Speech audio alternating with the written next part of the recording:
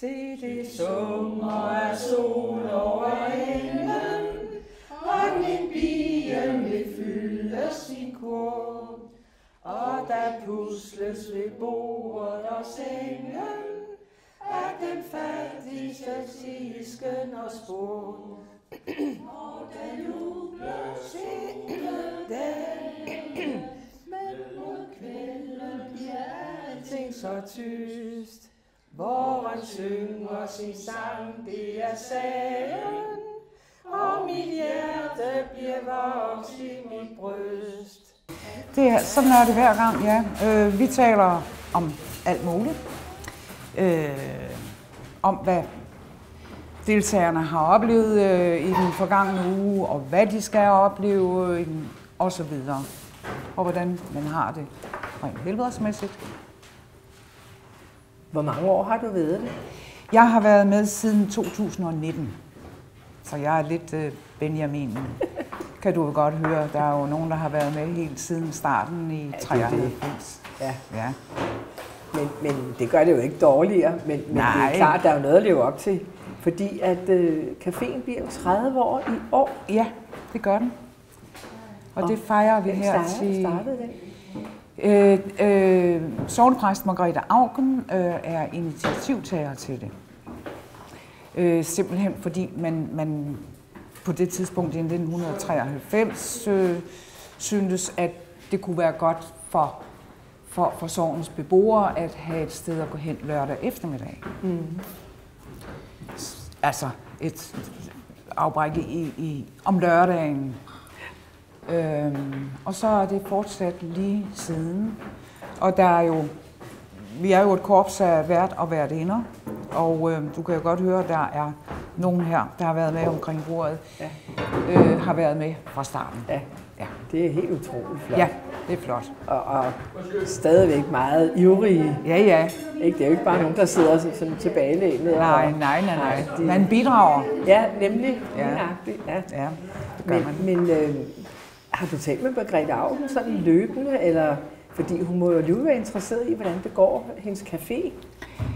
Jamen, det var, har, hun, det har Margrethe Sørme været, helt sikkert.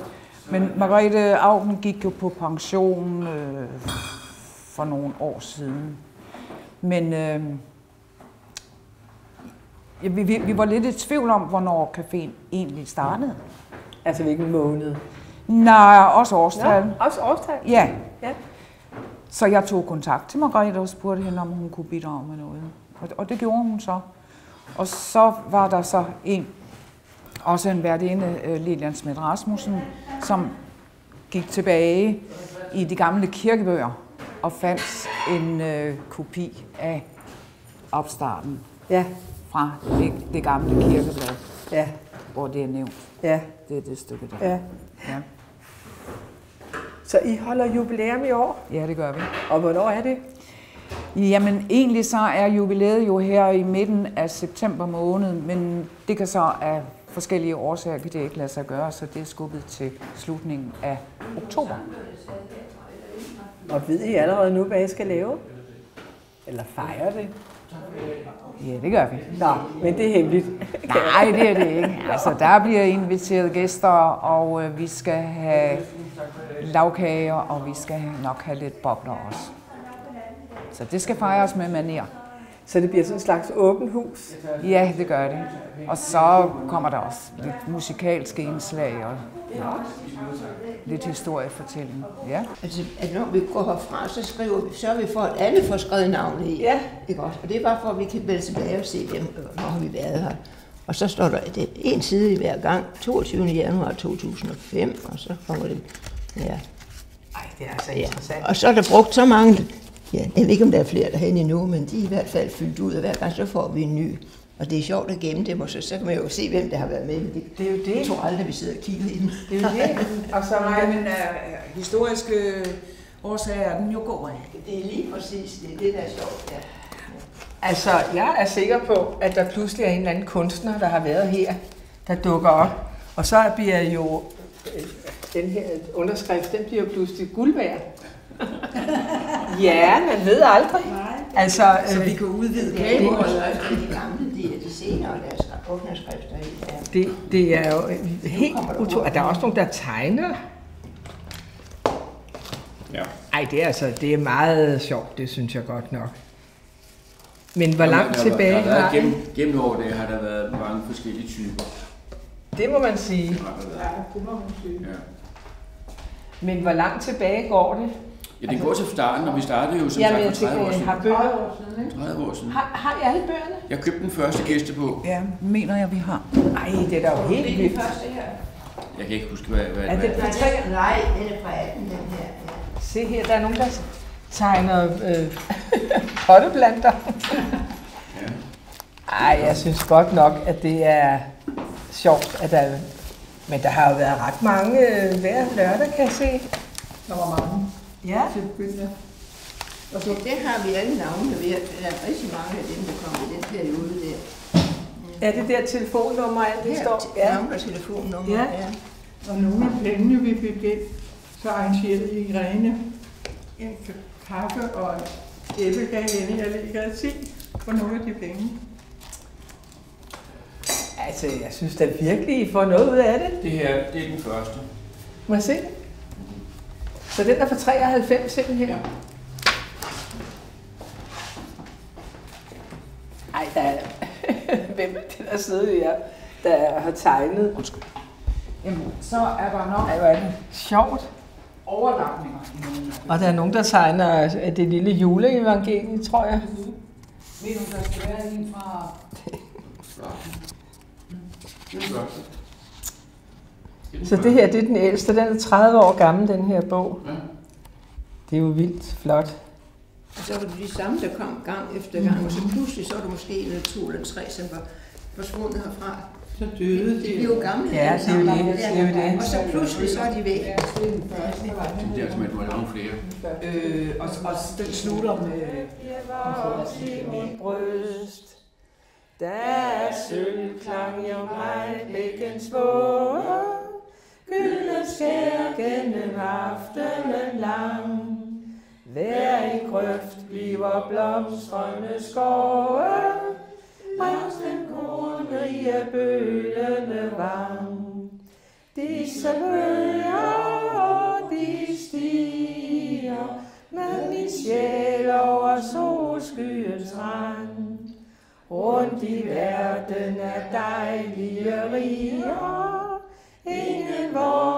en mig i vort land. Nogle gange så har vi jo højskolesangbogen øh, fremme, og andre gange så bliver der læst op. Men det sker også, at ingen af delene kommer frem, fordi der bliver bare talt på kryds og tværs. Ja. Og det er så dejligt. Det er så livsbekræftende. Men er det sådan, så når folk de møder, så siger de for eksempel til dig, øh, jeg kunne godt tænke mig at læse et stykke i dag? Eller er det bare noget, der kommer spontant? Det kommer spontant. Ja. ja. Det Så, det. så, så det hele det kommer, øh, som folk de synes, at de har lyst til Ja. at blive inspireret af faktisk. Ja, netop. Jo. Der må jo ske noget, når man sidder i en samtale, det kender vi jo alle sammen. Ja. Så bliver man jo, kan man, så er der pludselig en masse idéer, ikke? Jo, jo, det Ikke? gør der da. Og Ja. så bliver folk måske ikke så generet. Nu var der ikke nogen, der var generet her på nogen måde. Nej, nej, Nej, det kan man ikke sige. nej. Så der en præst på Amager var på husbesøg hos en arbejder. Det var en ualmindelig varm dag, og arbejderen spurgte præsten, om han ikke ville have en øl. Der blev trukket to øl op, og arbejderen, som ikke mente, at man i nærværelse af en gejstlig person kunne anvende et så profant ord som skål, nærmede flasken mundhøjde, i det han sagde, Halleluja, herr pastor. Ja, ja. De er meget søde, for mange er der i den bog. Og der er mange. Der er Ja. virkelig mange. Der er virkelig mange. Jeg kan se, du har en mere. Ja. Så er der en Københavns præst var på besøg hos en arbejderkvinde, der fødte sit sjette barn. Præsten lykønskede og udtalte, ja, børn er en Guds velsignelse, hvor til konens mand, der stod hos, svarede, ja, men et fandens besvær, herr pastor. I mødes så hver lørdag. Men, det, men du er der for eksempel ikke hver lørdag. I har en vagtskema, ikke? Vi laver øh, en, øh, øh, ja, en, øh, et øh, vagtskema. Vi er jo de der 6-7 øh, vært og værtinder, Og vi mødes øh, to gange om året og planlægger et halvt år frem i tiden. Mm. Og så skriver vi på den og den lørdag, og så tager jeg den lørdag, og, og så videre. Så det Er der så dækket kaffebord til, til de kommer, de forskellige, eller hjælpes med ad med det? Ej, det har været inden, Nå, der har ansvaret Ja. ja. for borddækning og indkøb af, brød? af brød, Ja, hvis man køber det. ja. Mange bager jo selv, ja, Ja, og det er ja. jo flot. Så, men, men ellers så øh, har man, man har ansvaret for det. Mm. Og så er vi, undskyld, mm. Gode til at hjælpe hinanden med oprydningen. Ja. ja. For der skal vaskes op og ryddes op. Og inden vi går i gang med det, så lader vi jo gæstebogen gå rundt. Ja. Der skriver vi jo i hver gang, vi har været. Ja, det er meget, altså de der, de er virkelig interessante. Ja, det, er klenoder. Det må jeg sige. Ja, det er det. Ja. Ja. Virkelig. Også fordi der er tegnet i dem, og, Ja.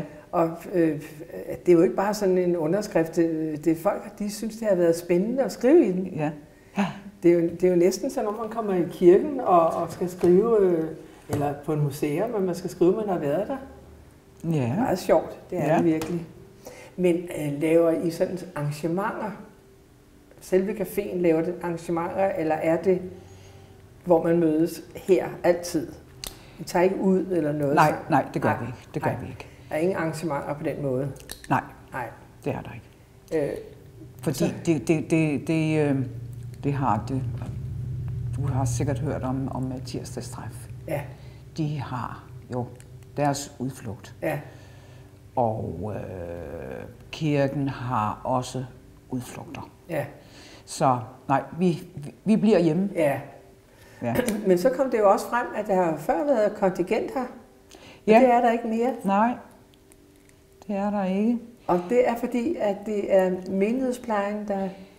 Menighedsplejen øh, finansierer Ja, Så det foregår på den måde, at øh, hver hvert, ene får x antal øh, kroner til at dække ind til de lørdage, de nu har. ja.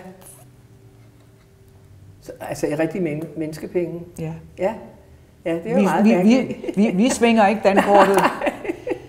Øh, men men øh, det er jo nok fordi, man er gået ind med det frivillige arbejde, og så skal alle til gode ses, ikke? Det er nok tanken bag Ja, det. Ja. det vil jeg tro. Ja. Øh, og det er jo en smuk tanke. Ja. Og det er jo den, der bærer. Altså tænk på alle de frivillige, der er alle steder. ja, det er det. Altså øh, halvdelen af alt det kulturelle, der sker i Danmark, det vil jo overhovedet ikke eksistere, hvis Og- ikke der var frivillige. Og idrætsverden. Og idrætsverden, Ja. det, det, det ville jo overhovedet, der ville næsten faktisk ikke rigtig være noget. Nej, Kun for eliten. Ja. Hvor man synger sin sang, det er sagen, og mit hjerte bliver vokset i min... Altså nu hørte jeg lige, I talte om øh, Stor Bagedag. Ja, Det er jo øh, FSU, der står for Stor Bagedag. og hvad er det SSU? Det er Frederiksberg Sovns ungdomskreds. Ja, altså, vi har Asnefjern stadigvæk, og det er jo især det, der holder sammen. Og det- nu er der jo ikke så mange, der deltager, men det er jo efter, hvad skal man sige, det er slutningen på en lang, lang periode, hvor der har været rigtig mange ungdomsarbejde og børnearbejde også. Ja. Mm. Men så er der nogle af dem, der starter på den der store bagedag igen, og det samler jo en 200-300 mennesker hernede hele Ja. lørdag. Har du været herovre? Nej, Asneslejren er jo en optagelse hver i sig selv. Der er en lang, lang og dejlig historie bag ved det der. Og, så er det Og hvor mange børn, der er kommet derop over, over sommeren, og konfirmander. Det er helt utroligt. Og nu er det et problem, hvordan det skal fortsætte, fordi der mangler jo så alle de frivillige der, de er der jo. Men øh, der, det, det foregår egentlig ikke på samme måde, som det har været i gamle dage. Og den skønne lejr, der står der for 100 år, den er fra 1918, ja, og der var et stort 100-års jubilæum deroppe også der. Og det er forfærdeligt at tænke på, hvad skal, hvad skal ske fremover. hvem, hvem er ejeren? Jamen det, i sin tid så var der en aftale mellem godset på Lærkenborg og så præsten, øh, sovnepræsten Ja. her. Så, og, Det har jo så været noget tilskud fra kommunen, også så længe det var et øh, børn, der var med ind i øh, foreningen her og havde betalt kontingent også. Men ja. det var der jo heller ikke så mange af. Da jeg var, da jeg var medlem af menighedsrådet, der havde vi et menighedsrådsmøde derude. Ja. Så kørte vi der til. Selvfølgelig havde man Ja, da og så havde vi et møde derude. Man skulle ud på landet. Det var meget flot med udsigt ud over Storebælt. Ja, ja, det og, var kunne se, og der, så var, det var det tidspunkt, de var ved at bygge Storebæltsbroen.